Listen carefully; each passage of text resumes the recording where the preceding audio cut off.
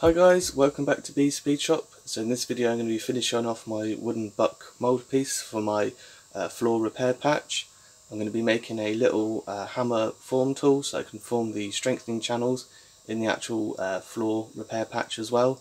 I'm going to try and make the uh, repair patch as well this weekend and uh, if I have time I'll see if I can get it prepped and welded in. So before I can actually finish off my wooden buck mould piece I want to get the old piece of floor cut out first so I can then test fit it to this just to make sure the channels line up with this and then I can adjust the width of these if I need to. And um, also to make sure the edge piece fits in where this steps in just to make sure I've got the depth and the width right. And then I can adjust these edges if I need to like grind a bit more off of here so it fits properly. And then once that's done I just need to make my hammer form tool for the little channels. And then I can start making a repair patch. So I drilled out all of my spot welds along this back edge on both faces, well all the ones I could find anyway. Um, so now it's just a case of, I've marked it there but what I'm going to do is I'm going to come in a little bit and cut it a bit shorter and then once I make my panel I can uh, cut them both to the same length so, that they're a nice tight fit. So what I'll probably do is come along this edge, cut it along there. I might have to cut into that a little bit just to um, uh, on the inside panel where that edge folds up so I can cut along there and then the same uh, down there. I just got to cut in a little bit. So I'll quickly get that marked up and then get it cut out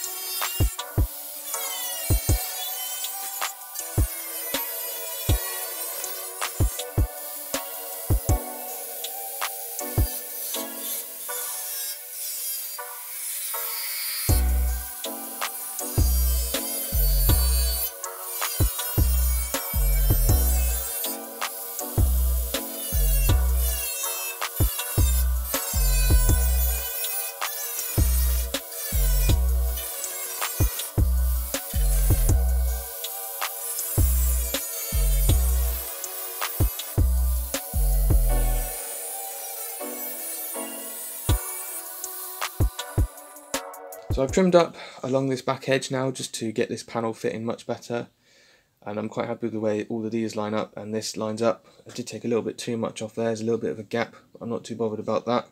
I can always just uh, adjust the panel once I've made it, I can always just uh, tap that edge out, in or out, whichever way it needs to go. And um, I've put a little radius along that edge as well, just so it matches what was already in here and then hopefully it will fit into the car nicely as well once I've made the panel. Uh, so I think now it's uh, I've got to make my uh, little hammer tool so I can form these uh, uh, strengthening channels. So I've got a piece of round bar and what my aim is to do is just to uh, recreate this edge. So I've just got a chamfer either side of it just to make that um, it's like a trapeze kind of shape where it comes out like that. So I'll quickly make that, just grind the edges off so it fits in here and then I can um, start making a new panel.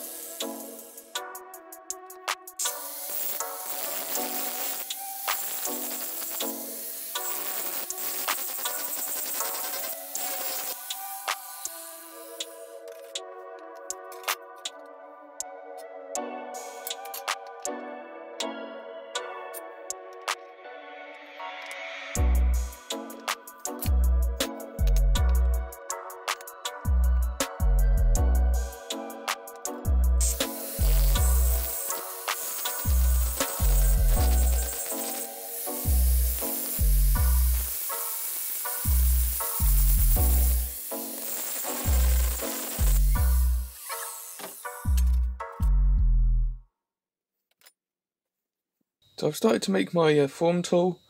So obviously I just ground the corners off and I've just uh, gone over it with my little belt sander just to smooth it out a bit. But I'm really happy with the uh, shape it's taken and I've cleaned up a bit of the old floor just to uh, test fit it in. And I'm really happy with the way it's fitting. I mean, there's a slight little bit of movement but I'm sure that's fine. It's fairly close for what I need. I'm quite happy with that.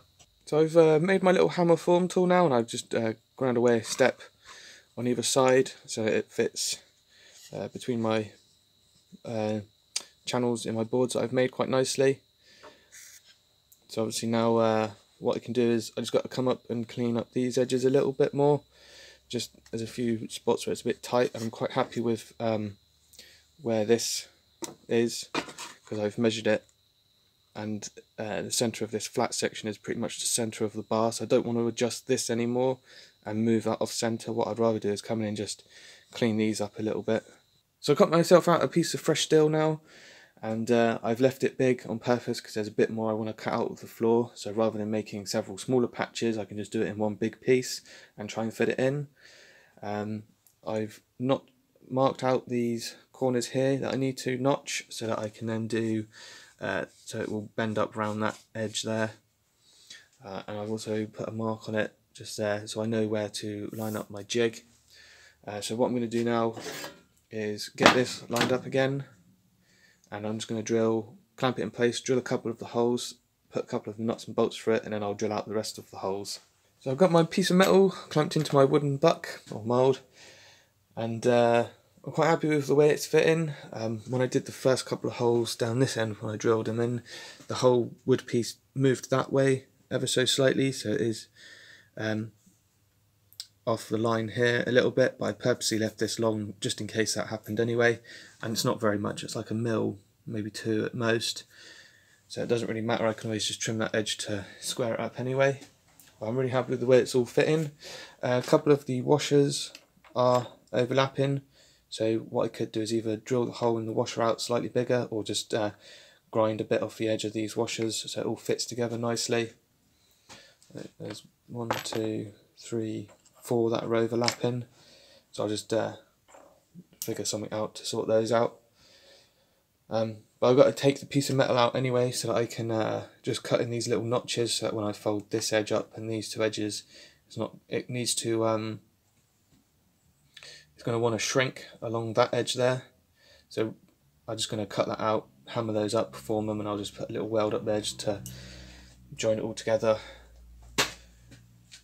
So I'm going to come back tomorrow morning first thing and uh, get this finished off and then we can start having a go at trying to shape these channels. So I'm back this morning to work on my repair panel I was making and I realised that when it comes to hammering this edge up there's nothing uh, here supporting this so I've got a piece of the old box tube which I'm just going to clamp on there so that when I'm working along uh, this section of the edge I've got something to um, hit up against so I know it'll make a nice uh, square edge when I bend this edge up. So I just did this um, little edge as a test off camera just to make sure this was going to work and it's uh, come up quite nicely along this edge, it's nice and square. It's got a nice little radius on that side as well so I'm quite happy how that's come out. Uh, so what I'll do now is I'll clamp my bit of box tube along this bit to support that, uh, fold over this edge, and then I'll see about starting work on this uh, middle edge. So unfortunately this little jig hasn't worked out the way I was hoping it was going to. Um, as I was trying to form this piece, um, it's uh, not taking the right shape here and it's actually split the wood just up here.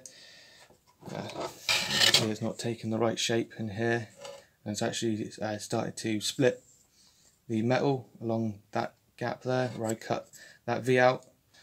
Um, I'm not going to give up on this just yet, I am still going to try to see if I can hammer form uh, these strengthening channels. And what I'll do to fix this piece is just uh, cut that piece out, uh, I think cut a 20 mil strip and just uh, bend it to that shape and then just weld in uh, along this edge and smooth it out to make that edge along there. So uh, I'll see if I can, I'll give this a go, see if I can form those channels, but if not, um, I'm not sure what I'll do yet. I'll think of something. Unfortunately, my little fixture I made, uh, my little wooden buck piece, hasn't really worked the way I was hoping it would. Um, so I've been working this panel for a little while now, and it hasn't really taken any shape at all. I mean, there is a little bit, probably half a mil to a mil at most. So it's just taken too long to sort of hammer form it by hand. So I think I'm going to call this attempt number one and call it a fail. But I do have a plan for next weekend of how I can continue with this panel. I don't want to scrap it just yet. So my plan for attempt number two of trying to form uh, these channel pieces, obviously I've already got this uh, top die section. Uh, so what I think I might do is see if I can find a block chunk uh, from work and uh, create a bottom die. So now I've got two pieces and uh, what I'm going to do is cut that off and uh, see if I can even machine like a step in the side of it. So it'd be like it'd be cut there like that kind of shape. So then I can find a way of mounting that in one side of the vise and mount the uh, bottom die in the other side of the vise and then what I can do is just carefully feed the panel through and uh, every, every so often just um, squish it a bit more in the vise until it sort of takes that shape. Uh, but what I want to do is uh, make sure I have the right depth on here and uh, somehow create a stop on there and on the bottom piece as well so the bottom piece will be shaped where it comes up like that with like a stepped piece. Um, the reason for doing that is um, when I'm squishing it together the two pieces either side will keep the rest of the panel nice and flat. It won't uh, like if it's just this shape, um, it might have it might um, sort of bend the panel up a bit more.